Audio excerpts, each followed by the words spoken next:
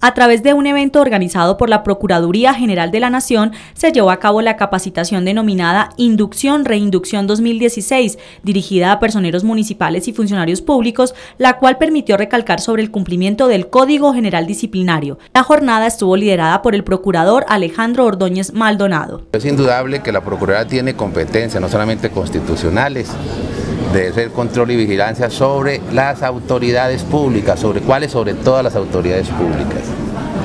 Que la Corte las ha recordado. El evento que contó con la presencia del alcalde encargado de Pasto, Eduardo Enríquez Caicedo, recordó a los asistentes las modificaciones que se efectuaron al Código General Disciplinario, con el propósito de ser más eficaz en la tarea de combatir la corrupción y en la eficacia de la función pública. Qué bueno que venga a actualizarnos sobre estas medidas que tienen el control disciplinario, sobre todo para los funcionarios públicos, porque sí es importante que nosotros cada paso que demos lo demos con la seguridad que esas decisiones que tomamos estén siempre atadas y añadidas a la ley.